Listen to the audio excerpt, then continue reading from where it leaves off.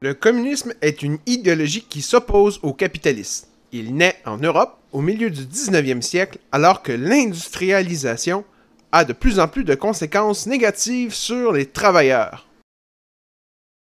Karl Marx et Friedrich Engels sont parmi les premiers et les plus célèbres penseurs du communisme. Ils revendiquent une transformation radicale de la société qui implique, entre autres, d'abolir la propriété privée, c'est-à-dire le principe même sur lequel repose le capitalisme. Selon eux, personne ne devrait travailler pour son enrichissement personnel et tout devrait appartenir à la collectivité. Dans une telle société, chacun se verrait donner ce dont il a besoin pour vivre, L'argent ne serait plus nécessaire et il n'y aurait plus de riches ou de pauvres, d'ouvriers ou de bourgeois. En 1917, au terme d'une révolution, la Russie devient le premier pays au monde à être dirigé par un parti communiste. En 1922, elle crée l'Union des républiques socialistes soviétiques.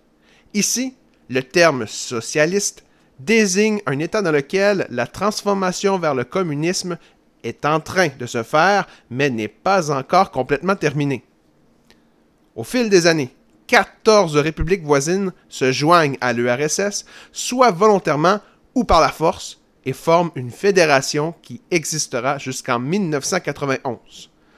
D'autres pays qui ne font pas partie de l'URSS se tournent aussi vers le communisme, comme la Chine, Cuba et le Vietnam. Le Parti communiste du Canada est créé en 1921, mais il n'est pas très populaire au pays.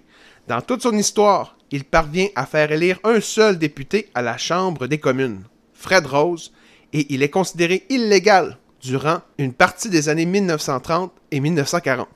Ceci s'explique par la crainte que provoque le communisme en Occident au cours du 20e siècle, notamment en raison du fait que cette idéologie est contre la propriété privée et la religion qu'elle mène à la mise en place de dictatures et qu'elle est présentée comme un ennemi dangereux durant la guerre froide qui oppose capitalistes et communistes.